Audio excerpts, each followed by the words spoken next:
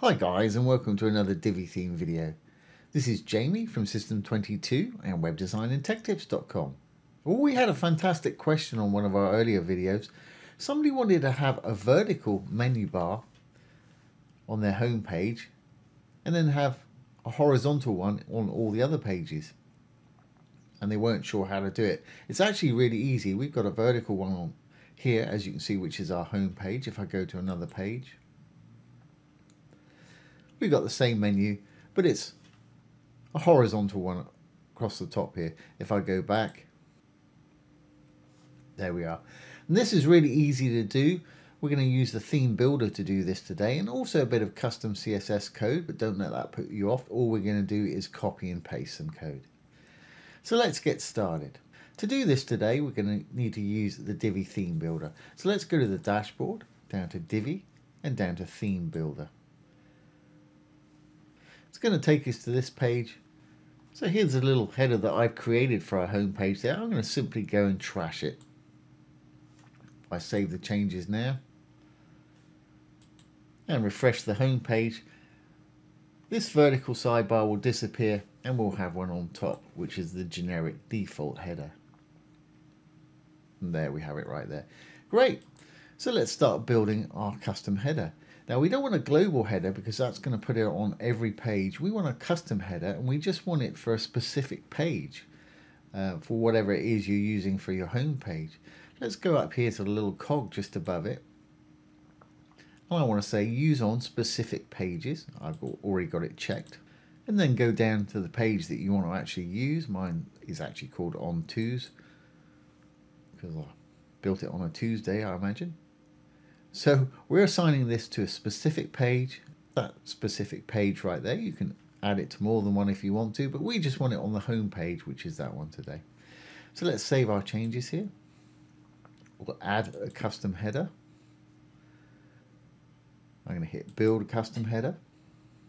And here we are. By default, it puts in a little section for us with no columns, now I'm going to make this section the actual width that I want it. I'm going to start off at perhaps 300. So to do that, I'm going to go in here. And just so you can see what's going on, I'll give it a quick background color. Just give it a background blue there. There we go. You can see what's going on. So I'm now going to go to design. I'm going to go down to sizing. I'm going to say I'm going to have mine 300 pixels wide. Now it's put in a percentage, so I need to delete that and just put px for pixels in there. And as you can see, it's shrunk it down. Height-wise, I want it to go all the way down to the bottom, so I'm going to give it, in the height, 100 viewable height. So that's 100 VH. So whatever screen they're viewing on, it'll be 100% of the height. Great. Well, now we need to add our menu. Of course, I want my logo at the top, then I want a little menu. So let's save this. We'll go in there. I'm going to use a single column, single row and inside I'm going to put my logo. So I'm just going to use an image module for this and pop my logo in there. I want a sort of light version of it.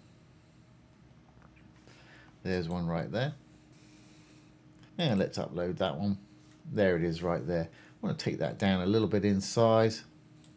I'm going to go to design sizing and let's take it down to something like that. Whatever it is you prefer to have yours and I want it to be in the middle. Great and I want it to link to our home page so you simply put your home page link in there which is the URL for the site basically. Great so that's the first bit done. Now underneath that I want a little menu so I'm going to click on this one. I'm going to hit a little dark circle with a plus sign to add a new module. I'm going to use a menu module. Here's the menu. And the menu I need today is vertical right there. And there it is. Now to me that doesn't look particularly good. I mean it'll work and everything like that, but really I want them stacked on top of each other so it looks a little more coherent. Now to do that I'm going to steal a bit of code from the Elegant Themes site I'll put this link down below. I'll also put this code down below for anybody that wants to use it. About halfway down this page, you'll find this code here. They've actually built one for us. just grab this. That's a little more complex if you look at this page. You can download this from their site if you just want to download one, but I'm doing mine pretty much from scratch. I'm just stealing their code that's going to make our menu vertical here. So if you want to look through this article, there's some different options for you there. But they've got all the CSS code written, so I'm going to steal it and use it on our site. To do that, I need to add a little code module down here. Now I've copied the CSS from this site over here, or below this video if you want to, because I'll put it there. So I'm going to add another new module. Just hit the little plus one more time. This time I'm going to use a code module and inside I'm going to open and close some style tags because this is CSS. So it's left pointy bracket, the word style, and right pointy bracket. Once you put the right one in, it'll put a closing style tag in for you. Now in between those two, we can paste that CSS code that we just copied. And there it is. And they're using a class of ET vertical menu. So I'm going to copy that class and we'll give that class to our menu up here. So let's save our code there. We'll go into the menu itself. Go over to the advanced CSS IDs and classes. It was a class, so I'm going to paste it in there.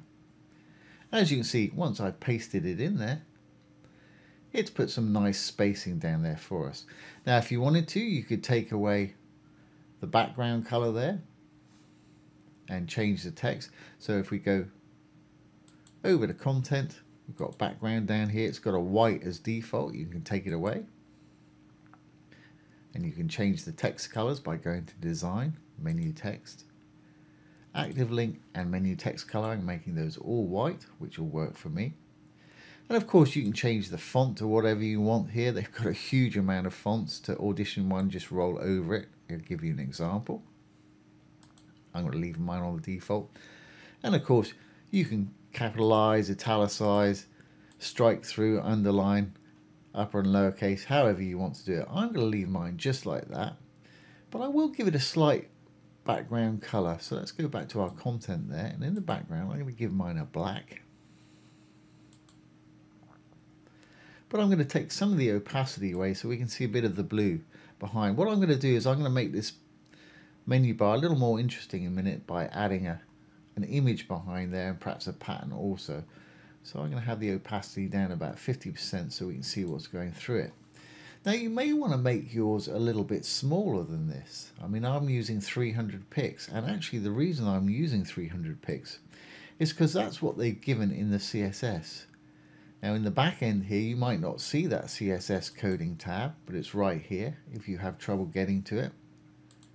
Just hit the little purple button down to wireframe mode and there it is in wireframe mode. There's a little code. We can go in there. Now the reason I've got my 300 down there if I roll all the way to the bottom of here is that's what they've got set over here. So I'm going to change mine perhaps to 240 I'm doing it right there in the width calc and I'm doing it in the margin left as well. Now what I can do once I save this, I can shrink this down a little bit to 240 if I want to. So if we go into the section, the blue tab at the top, over to design and sizing, here's a width. Let's make that maybe 240. There, that's going to work for me. And the reason I'm doing that is You've got to do it in both because if you don't, you'll have a gap here for, from when the page actually starts. You'll have a white gap before the page contents start there because it was set to 300. Okay, well, let's just pop this up a little bit higher. Let's go into my design again. We'll close up sizing. We'll go into spacing. Let's take any padding off the top by putting a zero on there. That's probably about right. I think I'd like a bit more gap below my image there on my menu, but we can sort that out in a moment. But while we're in the section, let's make that background a little more interesting. I'm going to go to background. We've got color, gradient, image, video, background pattern, and background mask. Let's add an image. And we'll blend these also. Just add that sort of burning wood ember image. As you can see, it's right there. And you might think, well, the color's disappeared, but we can blend it. If we roll down below the image, we've got background image blend here. And there's some great ones to choose from here. Just click on those, you can get some fantastic effects. One I want to use today is actually multiply.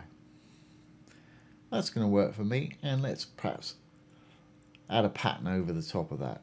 So let's go background pattern.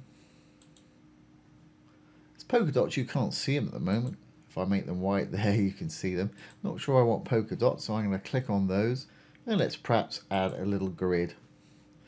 I'm going to make it a bit smaller. Custom size. Now I'm going to bring this up. I want it kind of kind of small like that. That's fine. Don't want it quite as vivid, so I'm just going to click on the color and take the opacity down a bit so it merges into the background a little bit more. There we go, something like that. So it's there, but it's not too over the top. Okay, well we're almost there now. Let's save our changes. I'm going to bring this menu just down slightly so there's a bit more of a gap between the image and the menu there. And perhaps I might bring that black color up a little bit.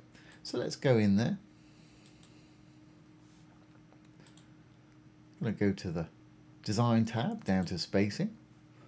And let's give it a bit of margin on the top. Let's try maybe 30 pixels. Just put in the 30 it'll put in the px for you. Yeah spacing wise that's going to work for me. Well, I think I'll have that black color even a bit darker. So in the content down to background here's our color. Just click on the field. Let's bring that opacity slider up just a little bit. That stands out a little bit nicer there Fantastic. Well, I'm happy with that. So let's save our changes here. Great. And the last thing we need to do here is actually make this fixed position so it stays in the top left at all times. So to do that, we'll go into the section, the blue tab at the top here. We'll go over to advanced and position. And here we can change it from relative to fixed. And I want it in the top left, which is exactly where it is. I don't want any offset. I want it right in the top left corner there. Great, let's save our changes now. If your button's expanded, just hit the save. If not, hit the little purple button and then hit save at the bottom here. Let's X out at the top. Make sure all of our changes are saved. Now if we go and visit the site, we've got our home page here with our little vertical nav that's going to stay there. We've adjusted it to 220, so we've got no gap there, which is great. If we look at another page, we've got the regular horizontal bar up there.